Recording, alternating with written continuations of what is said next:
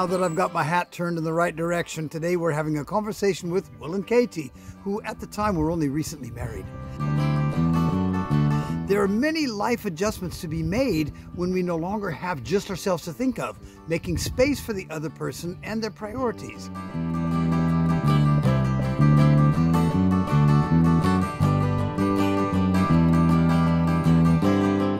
What do you feel that you've learned about each other in your first year of marriage? Well, yeah, we've learned learned so Mm-hmm. much. Uh, the first year, uh, there's a lot of change. We're now living together, um, and that that you will learn a lot about each other when you you live together as well. And uh, one of the biggest things, actually, to start with, was even just uh, sharing a bed.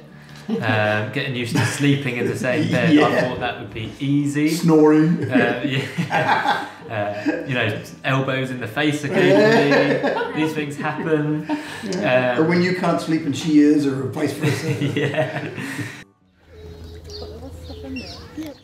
So uh, we learned a lot, just even just uh, about that and uh, time, how it would look like, finding our own space, as well as uh, making sure we have time for each other. Um, work commitments, it was a big one.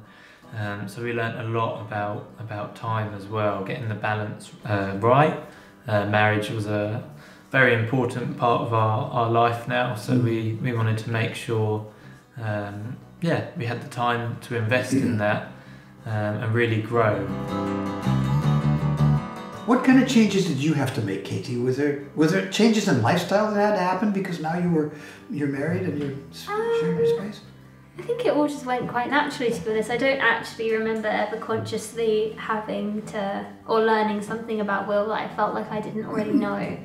Um, That's quite nice. but I just, it was more like an unraveling of character and an unraveling of lifestyle. So the way we function just works anyway. Like I wake up early so I can make lunch, and I work late so Will makes dinner. Like it just uh, in a way, I think that our friends were excited to share Yeah. um, this part in us, and we have amazing friends, and they're also really understanding and respectful of.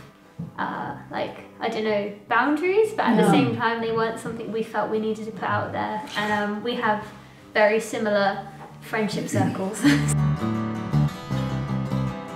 I know that in, in the church you are part of the, the youth ministry, and in mm-hmm. that you, you have to work a lot together. Mm-hmm. Do you find that you get sick of each other? no, we work a lot Yeah. together, and we also work a lot apart. So we each head different parts within the youth ministry, mm-hmm. and we know that as much as we're a couple and we have a voice as a married couple, we still have voices as children of God and yeah. individuals. So we um we still use those.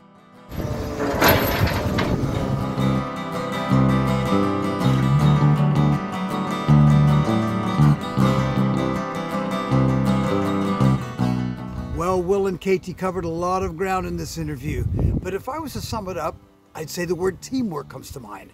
They both appear flexible, respectful of each other's challenges of the day, and complimentary to them even. Next week, Judy and I are going to talk about an incident when we both really missed the mark. It concerns the purchase of a car. God bless and bye for now.